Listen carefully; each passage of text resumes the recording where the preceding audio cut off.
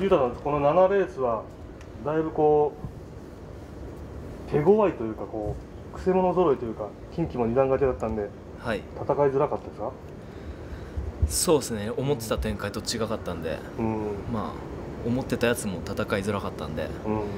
はい。難しかったです。で一度その突っ張られてもう一回下げて、いやもう突っ張られてうん。どうしようかなと思ったらちょっと大勢がしゃがん切ってたんで、そこ入れるかなと思ったらうん。やっぱそこはしっかり詰めてきましたね、そこからまあ大勢さん踏んでいったりしてそこからはちょっとチャンスもう一回出たかなというのも、いやもう一回一本棒になっちゃったんでちょっと、うあちょっとまずいなと思ったんですけどみんなタイミング一緒に出てってくれたんで、うん。隊列短くなってまあ行きやすかったですね、まあ、このメンバーでしっかり1着であれなのでなんかいい形で初日に向けてこう感触も、そうですね前回がちょっと悪かったんでうん、不安なところもあったんですけどまあ1着で取れてよかったです。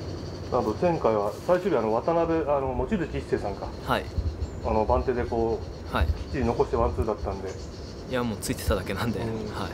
人の後ろだったからというような感じまああいつが強かったからあって感じですね。確かに小田原でもいいレースしてたし、はい。最近デビューした二藤修さんとかかな？ゆうたさんと練習とかしてやっぱり上で戦ってる人なんで、はい。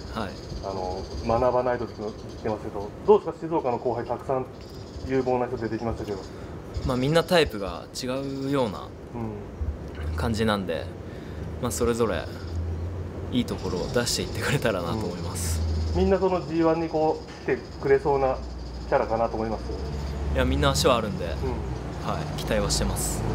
本当にちょっと渡辺裕太時代じゃないけど静岡で。まあとりあえずその中で一番上に入れたらなと思いますね、ちょっと楽しみ。にしてますはい。あり頑張って。がとうございます